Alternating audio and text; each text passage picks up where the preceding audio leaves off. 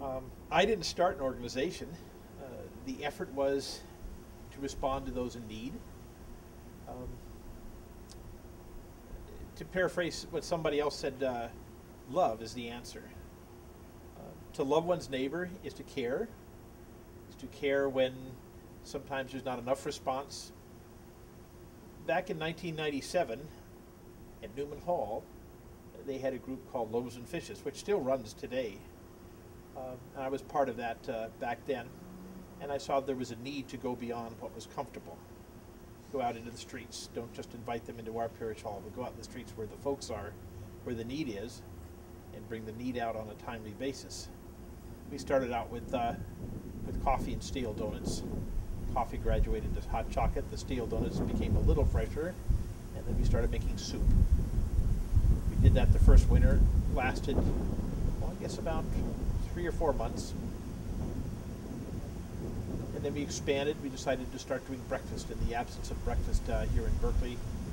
Um, we stepped forward and said, well, we can do breakfast. And a lot of people told us, you're crazy, you don't want to do it in People's Park, too much problem. And we said, well, that's where they are, and that's where we can be. So the first time we came out was in March of 98. We did breakfast for 30 people, or thereabouts.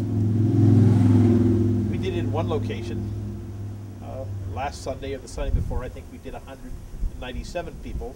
We did in two locations, so uh, we went downtown as well for a second location, and now we feed people in two locations. And feed them a full breakfast, not just cereal and a, and a piece of toast and a cup of coffee, but uh, a full breakfast.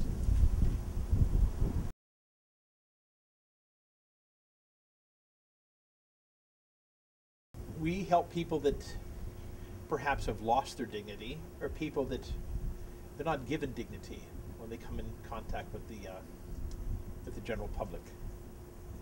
Um,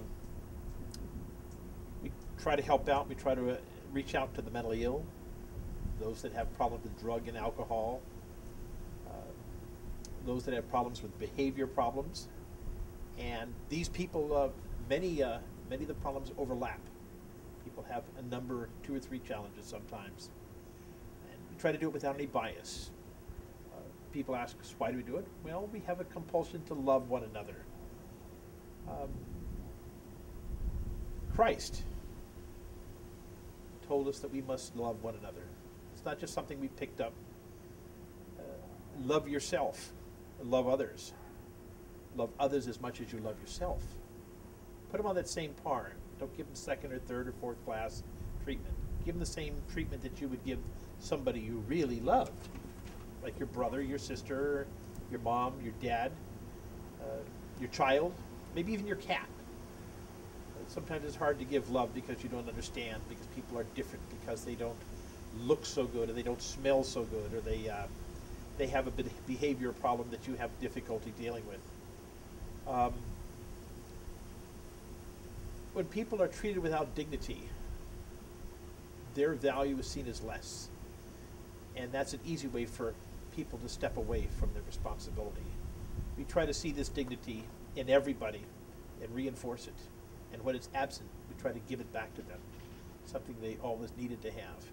And if anything, as much as feeding them or throwing a blanket over their shoulder or giving them a shelter for the night, giving them dignity will give them the opportunity to perhaps leave homelessness if it can be done and further their life.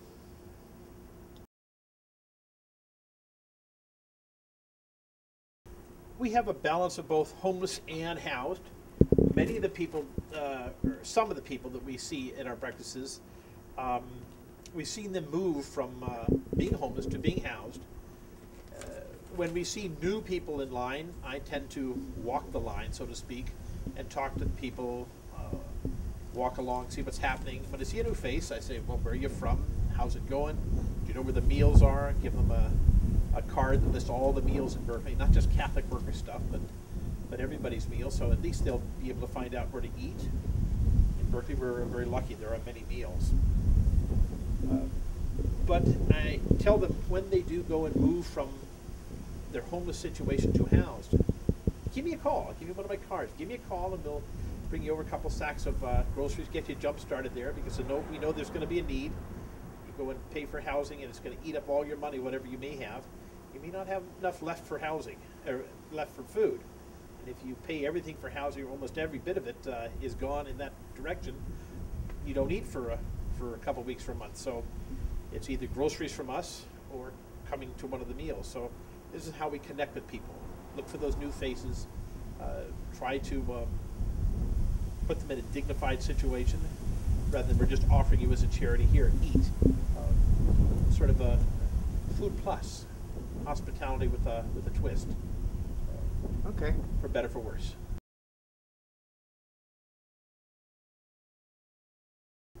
Um, it's a four-letter word. It's not the F word. It's it's a little bit. You'll probably get this. It's love. It takes love. Uh, it takes a lot of sacrifice. Um, I go down to the food bank almost every week and pick up whatever is there, whatever is needed, whatever we can find. What we can't find there, we go over to the uh, restaurant supply and pick up our milk and our eggs and our uh, our English muffins. We are the only people who do the English muffins. Everybody else does sort of old crusty bread. We pick up real butter instead of margarine. And we have our hot chocolate formula, very secret. Everybody seems to like it, so we seem to be doing well there. Um, bringing it back here, uh, taking phone calls from people when they call us, say, well, we have something to offer. A restaurant that opened up here, oh, about three weeks ago, called us up and uh, said, we have 125 pounds of fresh chicken. I said, great, I can't use 125 pounds of fresh chicken right now, but if you want to give it to me or offer it to me, I'll call you back in 30 minutes and I'll make it go someplace where it will go well. So I called around, couldn't get a hold of the food project, finally got hold of uh, Harrison House at the foot of uh, Gilman Street. Got a hold of somebody, luckily, somebody picked up the phone and said, I've got 125 pounds of fresh chicken. Are you interested? And they said, yes. So I called the restaurant back, and the restaurant said, uh, great. I got over there uh, about five minutes after 8, picked up my chicken, uh, put it in the back of the van, ran it down to Harrison House. They put it in the refrigerator, and I was back at Peet's Coffee at 8.30 having my coffee, as I usually do every morning. That's how I started my day. Another place we get uh, a lot of our resource from, which is ever been so uh, much more important than just the food and the dough and that sort of thing, is the people that come out. Whether it's people that pray for us, which is given short shrift, uh, those people that come out and actually serve, those people that come out and get up at 6.30 in the morning, show up at 7.30 for breakfast, and join us in our prayer circle. We pray, uh, we get ready for our meal, and then we dive in and we serve, as I said, 150, 200 people for breakfast in the morning. Uh, the resource of people is very important. Without that, it's, it's very so very hard to do anything without enough resource of people. And then the dollars are important, of course, and the food donations are important. Um, and we manage and we survive.